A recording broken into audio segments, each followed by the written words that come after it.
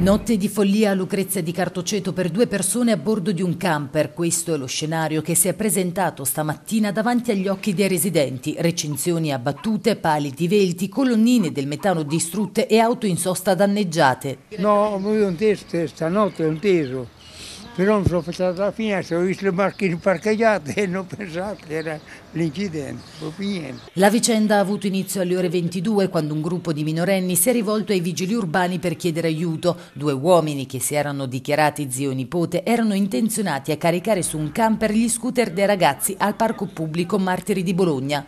Sul posto è intervenuta la polizia locale insieme ai carabinieri di Saltara che hanno sventato il furto e riportato la situazione alla normalità.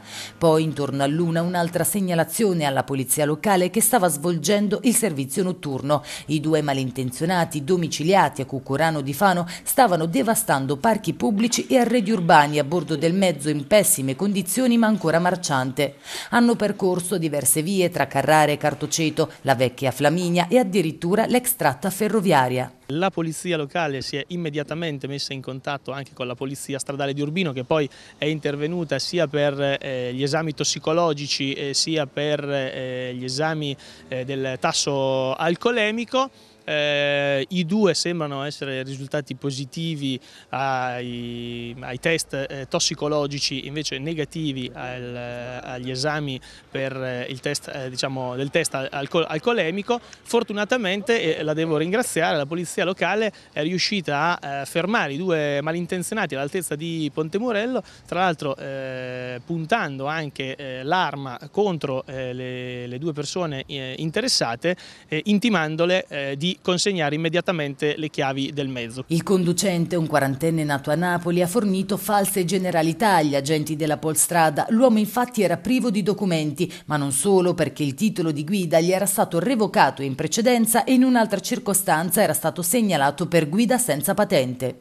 Si è accorta questa notte? No, io stanotte ho sentito niente, ci hanno, ci hanno suonato i pompieri alle 4 con quelli della distribuzione del gas ci hanno detto che eh, c'era una perdita, sì, quindi siamo scesi, abbiamo visto tutti i detriti, prima no.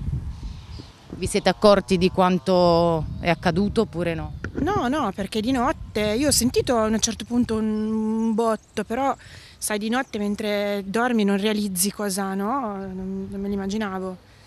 Quindi questa mattina si raccolgono i pezzi? Oggi si raccolgono i pezzi, sì, aspettando sopralluoghi, non so, di... c'è una perdita, quindi l'idraulico deve mettere a posto. Invece alla recinzione vi hanno provocato dei danni? Alla casa più... al signore più in su.